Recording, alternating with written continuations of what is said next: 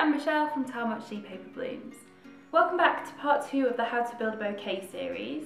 If you missed part one, go back and watch that now. I'll link it up above for you. And in that video, we ran through all the different types of flowers and the colours we were going to use to build our bouquet using all of the tutorials that I've brought to you so far. So if you've missed any of the actual tutorials, I'll put links for those in the description box below. So you can go back and make your paper flowers from there. And hopefully you followed along with part one of the series and you've got a good idea of your colour palette and the flowers that you're going to make. So the next step is to figure out what we're going to do with them. So obviously you can just make your flowers and put them in the vase and hope for the best. So most of the time, if you don't at least have a rough idea of what your bouquet is going to look like, you're going to end up making lots of additional flowers, making them the wrong heights and having to adjust them. Um, you might not have enough flowers, you might have the wrong types. So it's something that comes with practice. Obviously, once you've been doing it a while, you probably have a rough idea and you can kind of wing it, and it'll be fine. but when you're getting started, it can be so tempting to just make your bouquets, pop them in a vase, and then you look at it and think, why does that look awful? Why is that not working how everybody else sells their bouquets? So the main thing is that they planned ahead and they thought about their vase. So today I want to talk to you about these guys. Um, there are all sorts and sizes and shapes of vases available, all kinds of designs and colours. On that front, it really is personal preference. What I would say that is really important is the size and the shape of your vase. We're not going to talk too much about the colours today because that's just personal preference. You know, if you want a bright blue vase or a green vase or a clear vase, whatever it is, it really doesn't matter. So to start with, we're going to use these clear glass vases. So I just want to show you the, the difference in these three vases. So they're all glass, so there's no other distinguishing features like bright colours or textures or things like that. But we've got one here which has got this like narrow neck to it and then it kind of fans back out again at the top. There's this one which is more of like a uh, hurricane vase type one. You, a lot of people use these with candles inside them. Obviously that's got quite a wide neck to it. It's not as tall, but it's got a wide neck. So that's gonna need a lot more flowers. And then also just your bog standard glass water bottle. This has got a really narrow neck to it. So although it's tall, it's gonna get a lot of height to your flowers. You're not gonna get many flowers in there because there's only a very narrow opening. So your first instinct might be to focus on the colour of your vases. Um, and yes, that is important, but you really do need to focus on the shape and the size of them as well. Because obviously all three of these are similar height, but they're gonna produce very different bouquets. So you're gonna have a lot more flowers in the first two vases because the neck is wider than you will in a bottle like this. Same thing with bud vases. This is one of the bud vases I use quite a lot. This works really well with just one or two flowers in it. And you wouldn't think it would make much of an impact doing that, but it really does. And obviously it's quite short, so it's only a few inches high. So that's going to affect the height of your flowers. So you could be making flowers that are the full length of your floral wire and actually you only need them to be half a wire length and you're just wasting wire and floral tape by making them full height. So things like that are worth paying attention to now before you get started, just so that you're prepared and you know what you're gonna make. Now obviously if it all goes wrong, you change your mind and you wanna make a different bouquet in a different vase, it's not the end of the world. You can always swap and change them. So even if you cut your stems to be quite short like this hibiscus is, as long as you've got a longer one, there's ways you can fix that. So if we wanted to use these in a tall vase, for example, I will show you this in detail in a later episode, but you can basically attach them together with a bit of tacky glue and some floral tape. Then that gives you the height so you don't have to worry about the fact that one is a lot shorter than the other. So obviously there's ways we can fix it and we'll go through those together. But for now, let's just run through a few different vase types, shapes, um, and I'll just show you some of the ones I've got around my house to show you the different, um, the different options really. So as I say, try not to focus on the colours because that's not really the most important thing here. And that is also why a lot of them are glass so that you are looking at the shape and nothing else. so these first three vases are all quite big. And although the two at the back are different heights, they're all very similar. And the reason I've grouped them together like this is they've all got a similar size opening at the top to the actual body of the vase as well. So they're either straight or there's only a very slight incline on them. So what that means is you're going to need a lot of flowers to fill each of these vases. They're also going to need to be very tall, particularly for the two vases at the back, you're going to need very tall stems. You might even find that your floral wire isn't tall enough, so you might have to join a few together or put some kind of filler into the base of the vase just to make it stand up a bit higher. The other thing to be aware of with a straight vase like this is that your flowers are going to end up sticking pretty much straight upright. So the shape of your display is going to be very different to some of the other styles of vases. So I'm just going to pop a few examples on the screen here now, showing the kind of display you could get from this kind of shape of vase. Now obviously the fact we've got wire in our flowers means you can bend them to create different shapes, but you might find it looks a little bit weird if you're bending them too much. There is an advantage though of having a straight vase like this, because it means that actually only the very top of the flowers are going to be visible, so you don't need to worry too much about putting any leaves onto your stems, particularly anything that is part way down the stem, you're not going to notice it. And actually it might just get in the way in the vase, so I wouldn't bother with those. And also for any kind of foliage as well, you only really need to focus on the top few inches of the stem because the rest of it's going to be hidden. So from that point of view, it's quite good because although you're going to need more flowers and more stems to fill your vase, you don't actually need to put as much work into each one. So this next shape is more of your traditional style of vase, which might not be your favourite from a design point of view because they aren't as modern as some of the other shapes. However, in terms of creating a nice bouquet, if you want a large display, this is like your best friend. Because it has this narrow neck towards the top of the vase, and then it fans out at the top, what that does is actually put all your stems at an angle, so they'll start to lean on the sides of the neck. So it starts to create like a wider spread of flowers, and gives it a really nice shape and rather than everything just sticking upright they'll stick out at different angles and then as you add more and more flowers it will start to curve over the top. So you'll see here as I'm adding more and more flowers they're kind of sitting naturally up against the side of the neck of the vase so I'm not necessarily placing those in any particular place that's just how they start to fall naturally. So particularly if you're new to flower arranging, then it's a really good idea to use this style of vase because it just takes out some of the hard work for you. So if you see how they're sitting, all I'm doing is kind of roughly equally spacing them around the vase and they're already starting to create this really nice shape. And then you can see when you view the flowers from the top, they've already started to form like almost a circle shape from above. And then also when you look at it from the side, you can straight away see how it's going to curve over the top so you'll start lower at one side and then it'll start to curve over the top and that's quite a natural shape and that's very easy to achieve without too much effort. This kind of style of vase is great for that. If you want a large kind of traditional shaped bouquet that's quite curved and that's quite top heavy. To kind of break away from that uniform shape you can have the odd unruly stem that just kind of breaks away and like falls down over the top of the vase and that gives quite a nice effect too. If you want a display that's a little bit smaller, or maybe it's going to be used as a centerpiece on a table, and then something like this would work really well. These are quite small, they're only maybe about five or six inches high, so you don't need to worry too much about the height of the display. But the good thing about this size of vase is you can either have just a few flowers in it, or you can actually still get quite a good number in there as well and either will generally work well. The shape is going to be the difference here. So if you want to use a lot of flowers then something like this square shaped vase would work well. However, you'd be able to get away with a lot less flowers in this ball vase. Um, again, it's the same kind of principle as before with the narrow neck because it kind of goes in and then out again, even though it's very small, that's going to make the stems lean up against it at an angle and again create this nice shape. So if you can, I would recommend going for something more like the round one rather than the square one. Now there are exceptions to this. If you're going to be using things like Oasis as a filler material, which we'll get onto in a little bit, then you could stick your stems in this at an angle and obviously it doesn't really matter too much. So it depends what filler material you're planning to use, if any. This next shape is also really good if you're having a larger bouquet. This is going to work with most flower bouquets. The good thing about this style of vase is that you can go all out and create a huge display with loads of flowers in it. You can create something that's really top heavy, you can create things a bit more unruly and you might have some stems breaking away off to the side. Maybe they flow down over the edge of the vase and point downwards. There's all sorts of different styles you can create with this kind of shape of vase. But at the same time, you can also get away with just having a few in there as well. You don't need to have too many flowers in this style. The only thing to bear in mind is this particular vase is quite tall, so you obviously need to make sure that you have enough height on your stems.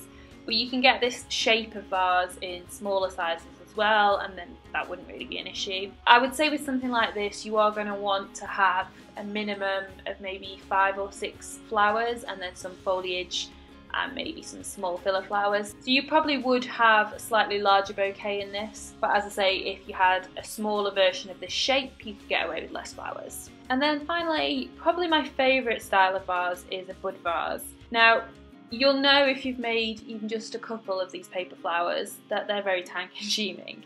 So the last thing you want is to have to commit to making a huge bouquet with 10 or 20 or more flowers in it just to be able to display a creation that you've made. Obviously if you're new to this you want to make one flower at a time, display it and be very proud of what you've created. You're not probably going to be ready to make 20 or 30 flowers before you can put them out on display. And to be honest, even when you've been doing it a while, sometimes you just want to make one flower, spend an afternoon on it, and then be able to put it out for the world to see, or to be able to give it as a gift to someone. So I absolutely love bud vases for that because generally they work really well with just one or maybe two flowers in them. Quite often I'll put a large flower like a peony or something like that. That works perfectly in these vases. And then I'll maybe put a little bit of a foliage stem Nothing major, they don't need a lot to go with them, just something that will stand and rest in the vase, and that in itself actually creates quite a lot of impact. And actually, that's something I love to give as a gift because it doesn't take me too long to make it, but it's still enough of an impact that whoever's receiving it is very impressed and they actually can't believe they're receiving this handmade gift. So I would really recommend bud vases for any kind of gifts like that. The other good thing with them is if you're short on wire, you obviously don't need that much wire. You don't need generally the rest of the materials as well, so it's a bit more cost effective. And bud vases work really well grouped together as well, so you can make one and then come back at a later date and make another one and just sit them side by side. I really like to group bud vases together. So if you remember previously we talked about the rule of thirds. So if you have three slightly different bud vases all kind of grouped together, that works really, really well. And obviously then you're only having to make a few flowers, but you're still making quite a lot of impact with that group of bud vases. And obviously I'm showing you a group of vases here that are all quite different.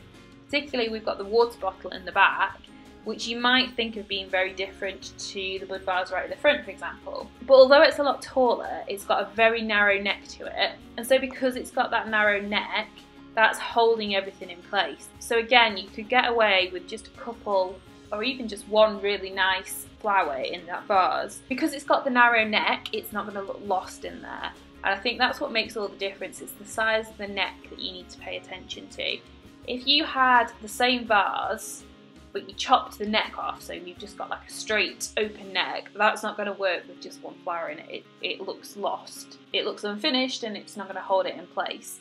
But that neck holds everything in place and it just makes it all come together and look like it's intentionally like that. So that's the key when you're looking at a bud vase. Don't necessarily think of the height of it or the size of it, more so the neck and the, the clue is in the title that it's a bud vase that it's designed for a single bud. so any of these that you can see on screen now will work great as a bud vase. Obviously the first style of vase we talked about was the straight vase and if you see at the front left I do have like a jam jar style vase here which obviously is straight.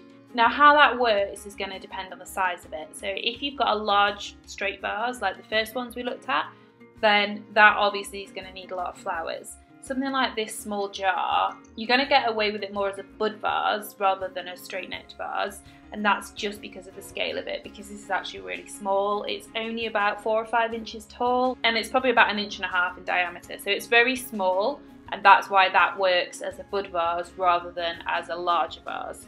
So obviously your scale is going to have an impact as well but I mean you can just use your common sense here. A small tiny vase is not going to hold a huge bouquet and equally you're not going to want a very small flower on its own in a very large vase so just use a little bit of common sense. Vases can overlap between categories, that's fine, it's just going to be whatever works.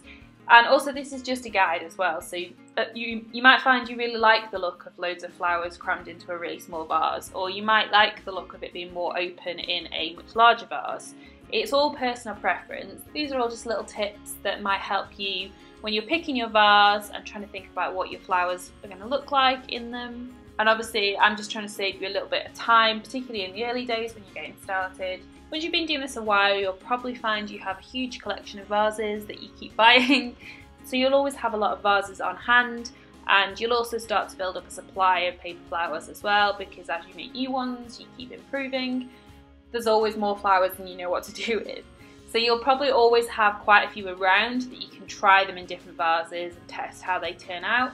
And I think that's also a really good way to learn as well. So if you do have a handful of flowers you've already made, just try them in different vases and just see what they look like and what effects you can create. That is the beauty of having them, that you can mix and match them all the time. Like it really doesn't matter if you change it every week if you want to.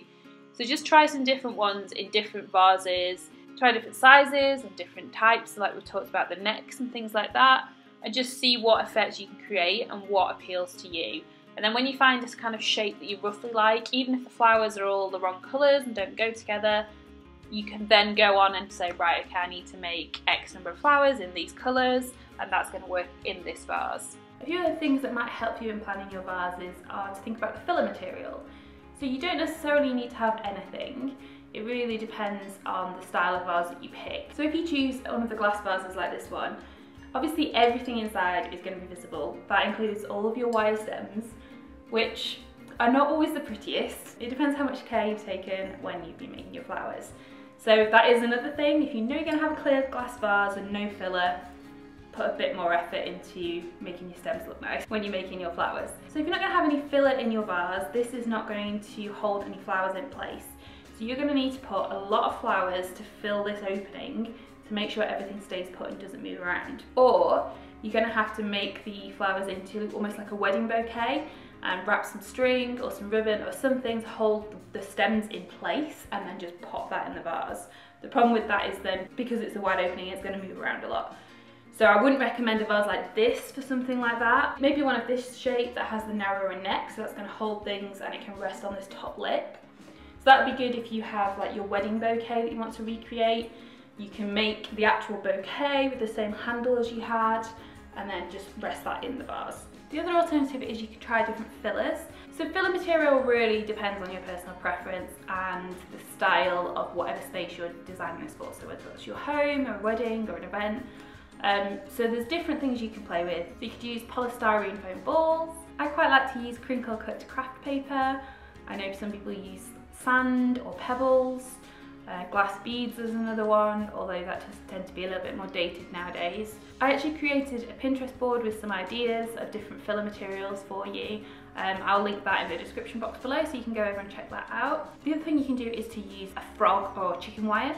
Now I would recommend doing that in a vase which is not clear, so you want something more solid. And a frog is basically just got lots of little holes in it that you can pop the stems into and it's going to hold them up at different angles. There will still be a bit of movement but generally you can arrange your bouquet in the right kind of position. You can also do DIY versions with chicken wire.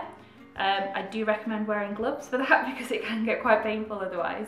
Um, but you can bend the chicken wire to form a shape pop that inside your vase and then you can stand your stems into the wire. Personally I'm not a huge fan of that just because I cutting my hands all the time so I'm going to focus on the safer methods, let's say. A lot of people also use Oasis and like the foam material. So you would just cut a piece that's the right size for your vase, pop that inside, and then just push the stems into it, and that's going to hold them really well.